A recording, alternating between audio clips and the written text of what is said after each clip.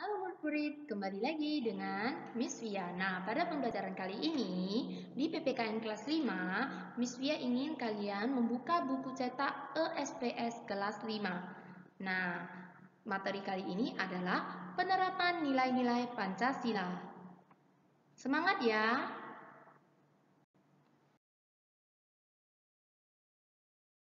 Penerapan nilai-nilai Pancasila Pancasila merupakan pedoman Indonesia dalam bersikap dan bertingkah laku. Nilai-nilai luhur dalam Pancasila harus kita terapkan dalam kehidupan sehari-hari.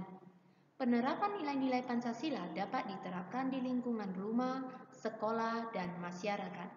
Berikutnya, Miss akan membahas contoh penerapan nilai-nilai Pancasila dalam kehidupan sehari-hari.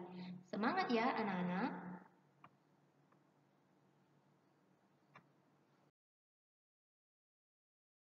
Nah, murid-murid, Miss mau bertanya, apakah kamu dan keluargamu sering mengalami perbedaan pendapat saat ingin memutuskan sesuatu?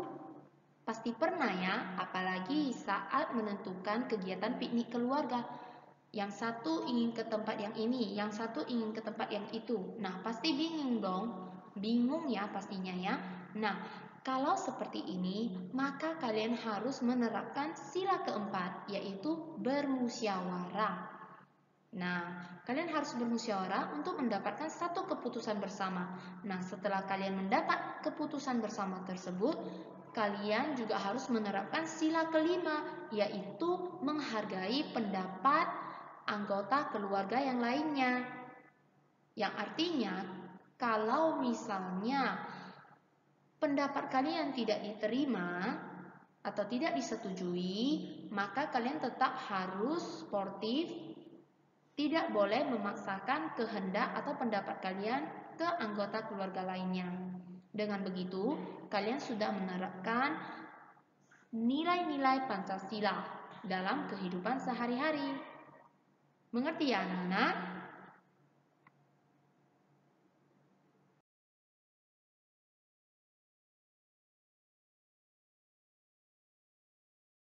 Nah, murid-murid, setelah kalian mengetahui contoh penerapan sila dalam lingkungan rumah, Miss akan mengajak murid-murid sekalian untuk melihat cuplikan video berikut. Di sana kalian bisa melihat sebuah video di mana terjadi sebuah musibah kebakaran ya.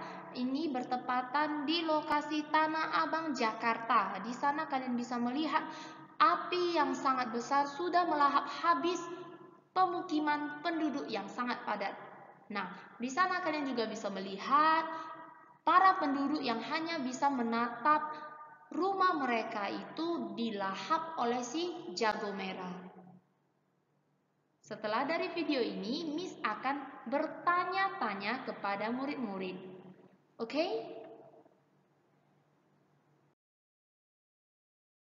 Nah, murid-murid, setelah kalian melihat cuplikan video kebakaran tersebut, Miss mau bertanya, jika kamu sebagai siswa, apabila ada teman sekolahmu yang tertimpa musibah kebakaran serupa dengan video tersebut, apakah kamu bersedia memberikan sumbangan kepada temanmu?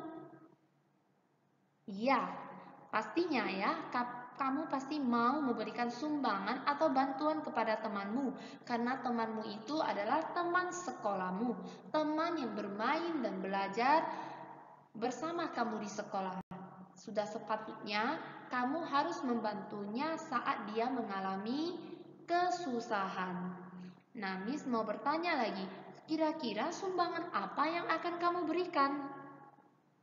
Tepat sekali, sumbangan yang kamu berikan kepada temanmu yang tertimpa musibah dapat berupa bahan makanan, pakaian, keperluan, kebutuhan sehari-hari seperti peralatan mandi, dan yang paling penting adalah obat-obatan.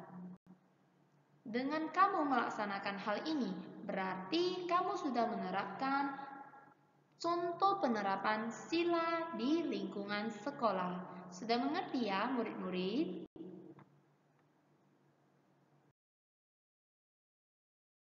Nah murid-murid, setelah kalian mengetahui contoh penerapan sila dalam lingkungan sekolah, Miss akan mengajak murid-murid untuk menyaksikan cuplikan video berikut.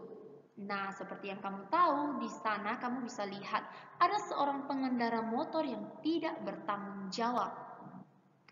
Dia berhenti di depan garis zebra cross. Seperti yang kamu ketahui, zebra cross itu adalah tempat bagi pejalan kaki untuk menyeberangi jalan raya. Nah, kesalahannya adalah dia tidak menaati peraturan lalu lintas yang di mana seharusnya semua pengendara motor ataupun mobil ketika lampu merah menyala seharusnya mereka itu berhenti di belakang garis zebra cross supaya pejalan kaki ini dapat leluasa menyeberangi jalan raya. Nah, yang kedua kesalahannya adalah dia berhenti di depan garis zebra cross otomatis itu membahayakan dirinya sendiri dan pengemudi lain yang sedang berlalu lalang di jalan raya. Nah, takutnya dia bisa kesenggol atau keserempet motor atau mobil yang sedang berlalu lalang di depan jalan raya. Pengendara seperti ini berarti dia tidak menghargai sesama pengguna jalan raya anak-anak. Jadi, kelakuan dan sikap seperti ini tidak boleh ditiru ya. Oke anak-anak?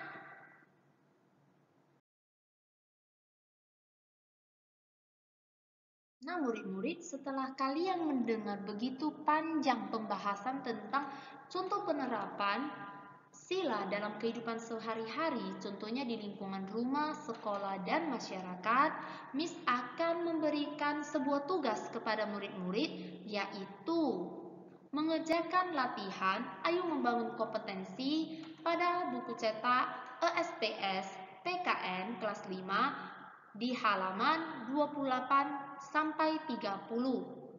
Latihan ini dikerjakan langsung di buku cetak ya. Nah, setelah selesai mengerjakan latihan ini, latihan ini tidak perlu dikumpul. Oke murid-murid, sudah mengerti? Nah murid-murid, sekian dulu ya pembelajaran kita kali ini. Miss harap kalian tetap jaga kesehatan, dengan perbanyak minum air putih dan makan makanan yang bergizi seperti buah-buahan dan sayur-sayuran dan tidak ke mana-mana kalau tidak ada kepentingan ya. See you di video pembelajaran berikutnya. Dadah!